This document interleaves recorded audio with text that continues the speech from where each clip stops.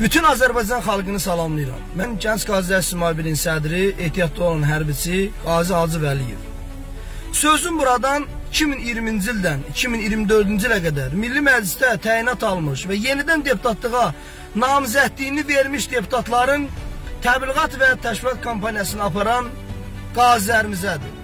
Əziz və hörmətli qazilərimiz, gəlin hər birimiz əlimizi vicdanımıza qoyaq, fikirləşək ki, müharibədən bu günə qədər şəhid ailələrimiz üçün, qazilərimiz üçün, döyüşçülərimiz üçün Milli Məclisdə hansı qanun layihəsi hazırlanıb? Hansı qanun layihəsinin müzakirəsi getdi?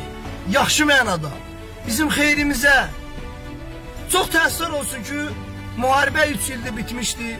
3 dəfə 50 meyar haqqında qanunu biz qazilərin, biz xalqın əleyhinə dəyişdilər. Biz ona görəmi onların bu günləri təbliğat təşkilat kampaniyasına aparmalıyıq. Hər bir kəs öz əlini vicdanına qoymalıdır və bir anlıq fikirləşməlidir ki, 2020-2024-cü ildə təyinat almış deputatlar şəhid ailələrimiz üçün, qazilərimiz üçün, döyüşçülərimiz üçün, xalqımız üçün hansı qanun layihələri hazırladılar? Və yaxud da ki, qanun layihəsini hazırlayanda onların əleyhinə çıxdılar. Bildirdilər ki, bu qanunlar bizim xalqımızın sosial rifahını aşağı sala bilər. Bu qanunlar onların əleyhinədir. Bu qanunlar onların sosial durumunu aşağı salır. Heç biri demək olar ki. Təbii ki, bu parlament seçkilərinə öz namizədliyini verən kifayət qədər vicdanlı, ləyaqətli insanlar var.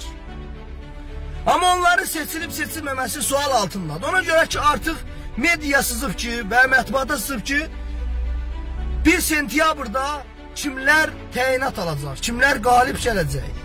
Ona görə də əziz və hörmətli şəhid ailələrimiz, qazilərimiz, döyüşçülərimiz, alət olmayan və o haqqı tapdalanmış şəhid ailələrimizi, qazilərimizi, döyüşçülərimizi düşünək. 200-ə yaxın intihar etmiş qazimizi fikirləşək. Mindən çox intihara cəhd etmiş qazilərimizi düşünək. 80 manat məvacibə layiq görülən veteranlarımızı düşünək. Məndən bu qədər.